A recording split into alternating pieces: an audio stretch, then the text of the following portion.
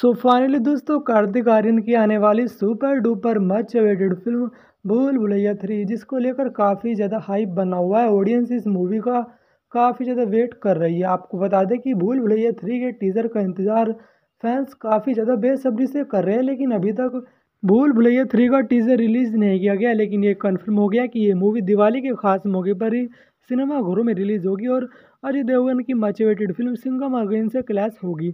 आपको बता दें कि भूल भुलैया थ्री का हाइप काफ़ी अच्छा खासा बना हुआ है।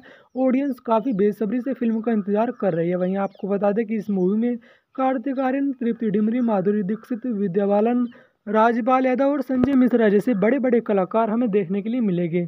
फ़िल्म के टीज़र को लेकर बड़ी अपडेट बाहर आ रही है। जी हाँ दोस्तों, कुछ खबरों की माने तो बताया जा रहा है कि फ़िल्म का धमाकेदार टीजर हमें बहुत ही जल्द देखने के लिए मिलेगा, यानी कि इस महीने सितंबर के लास्ट वीक या फिर अक्टूबर के फ़र्स्ट वीक में फ़िल्म का धमाकेदार टीजर आने की संभावनाएँ लगाई जा रही है, क्योंकि दोस्तों, फिर फ़िल्म को रिलीज़ होने में एक महीने का ही समय रह जाएगा।